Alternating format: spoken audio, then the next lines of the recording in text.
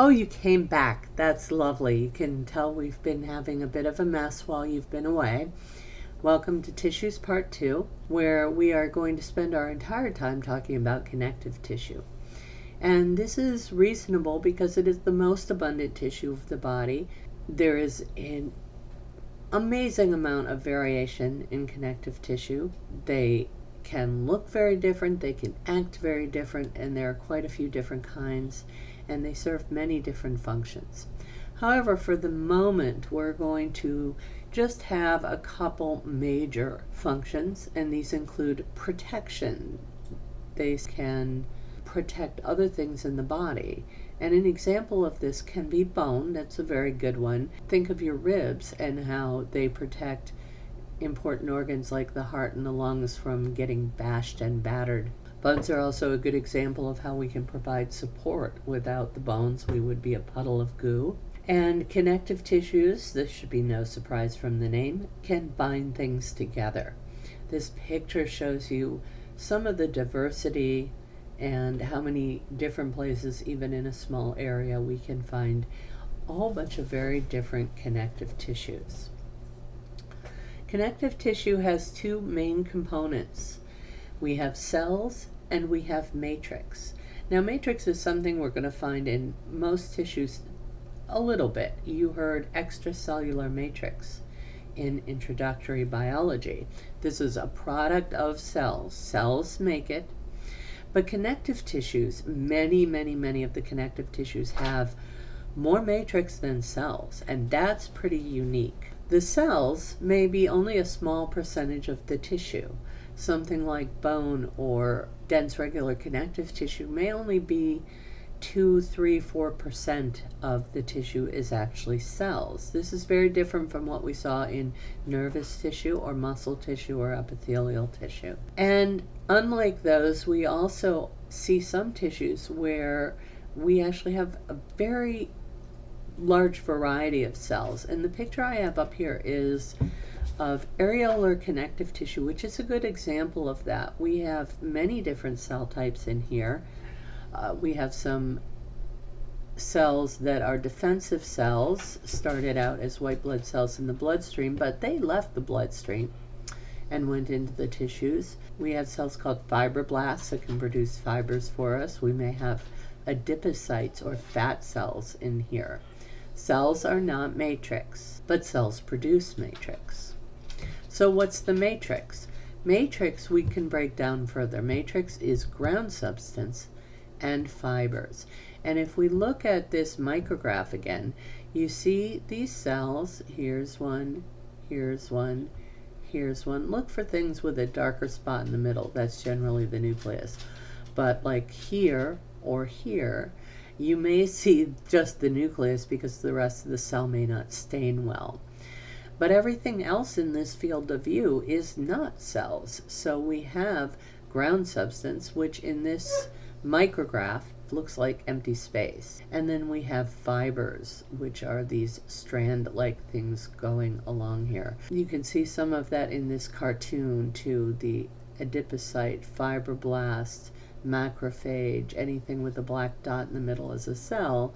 Then we have the green collagen fibers, the candy cane, elastin fibers, and the white background is actually ground substance. So what is ground substance? This is a product of cells, and it's generally made of things like glycoproteins and polysaccharides. There may be other chemical type depending on the specific tissue. This ground substance can be anything from a liquid to a solid. Even in liquid form, it tends to be somewhat viscous kind of thick, if you will, more like uh, maple syrup than water.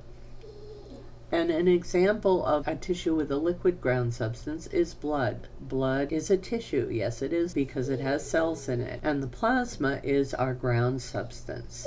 In adipose tissue, it's a little more solid, it's more like jello, kind of.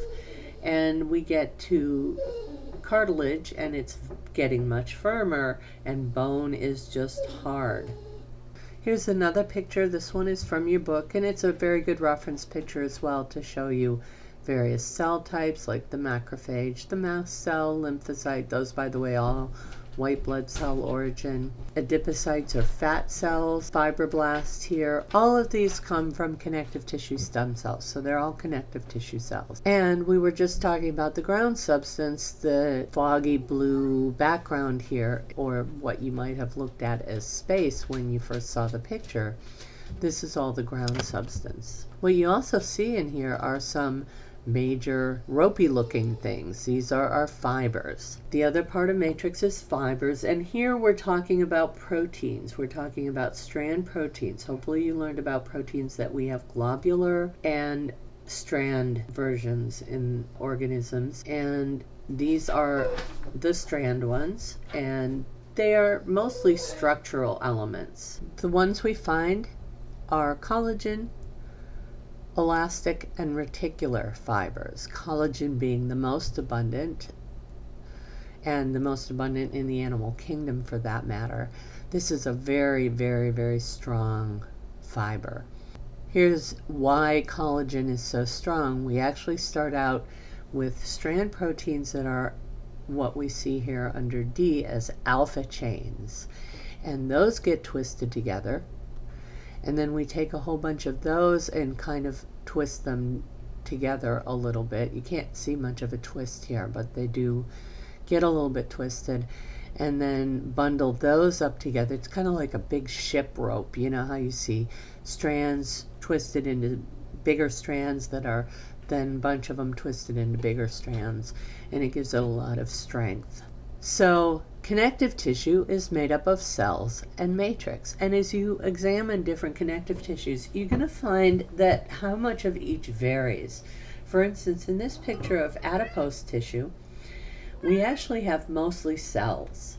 Very, very, very little matrix. You may not think, you might be going, Jesse, what are you talking about? Those look like, you know, lights out, nobody's home, or they left the lights on maybe. This may not look like much. But what you're seeing here is purple lines where the plasma membrane has taken up the stain very well, showing you the outer surface of the cell. And then that interior that looks like nothing's there is triglycerides. And the triglycerides don't pick up the stain well. So it looks like nothing's there because all the organelles and things like that have been pushed along the plasma membrane. But these are really full of fat, but not too much matrix here. Very little between the cells. If we compare that with something that's mm, maybe 50 50, these circles are a space called a lacuna. And in the lacuna resides the cell. These are chondrocytes in elastic cartilage. But what you see between the lacuna is the cartilage matrix, rather firm, made of fibers and a harder ground substance. If we look at something like dense irregular connective tissue, the cells here, we only see the nuclei where we see the darker purple bits that's the nuclei of fibroblasts. Everything else here is matrix, mostly collagen. So a very small percentage of this tissue is actually cells, which is also true for bone tissue. Here on a micrograph of bone, the only thing that's a cell are these small, dark, narrow spots. The larger central area here is a space called the Haversian canal, and what you're going to see in there are blood vessels and nerves, not cells. So aside from these black spots and the space in the middle, all the rest of this is the hard matrix of bone. Bone is about 2% cells, 98% matrix.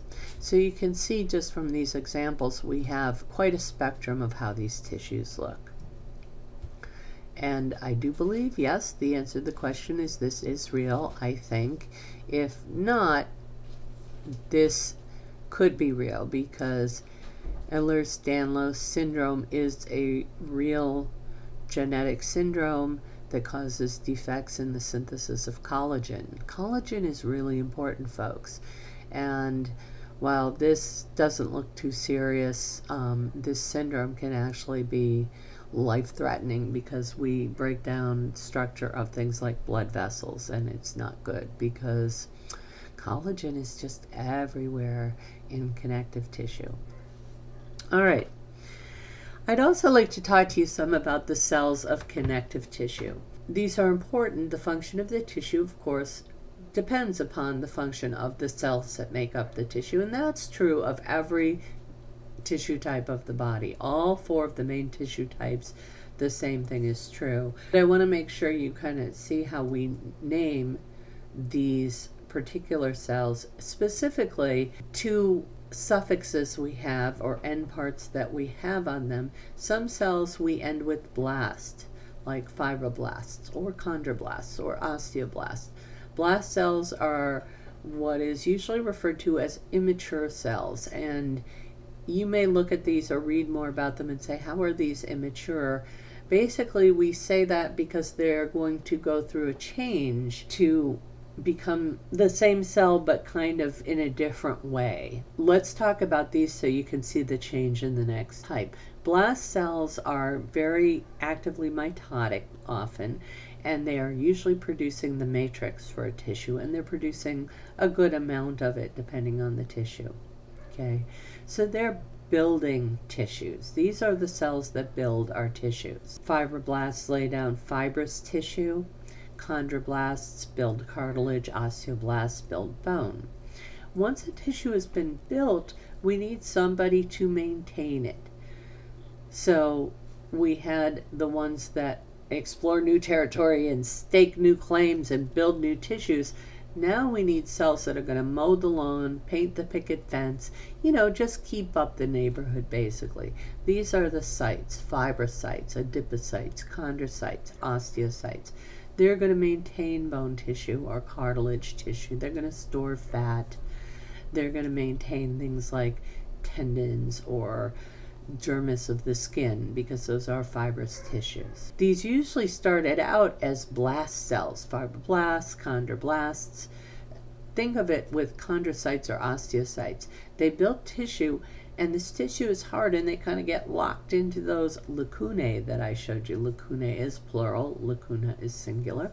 And now they can't get out, so they kind of have a change of life, you know, and become more the the mowers than the builders. And then just to wrap it up, I'd like to give you a little tour of some of the connective tissue cells that we find in the body. This is a couple versions of a cytotoxic T cell, which is a white blood cell that defends us from pathogens. This is a hematopoietic stem cell. Hematopoiesis is a process of producing blood cells, red blood cells particularly, and so we'd find this in the bone marrow ready to crank out some blood cells for us. Here's a blood cell, another connective tissue cell, and we have our singular blood cell here here we have a blood vessel. You can see here the epithelium that's lining this, making the walls of this blood vessel. And inside, running through all the little tiny, teeny red blood cells that tend to look like frisbees or donuts or things like that. Chondrocytes. We have, again, our chondrocyte in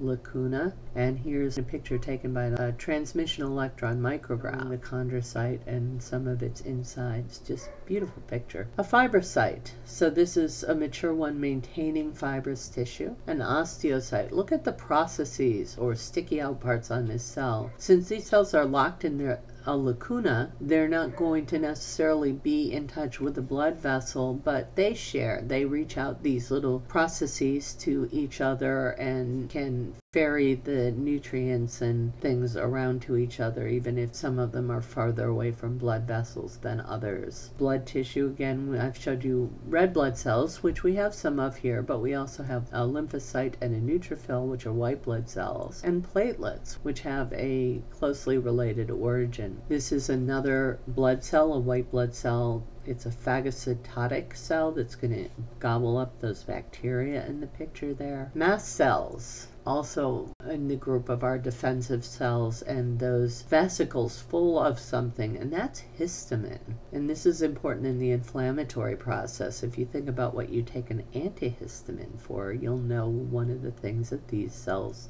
do. And that's all I've got to tell you about for tissues. Be ready in class to do some work with these ideas, and I'll see you then.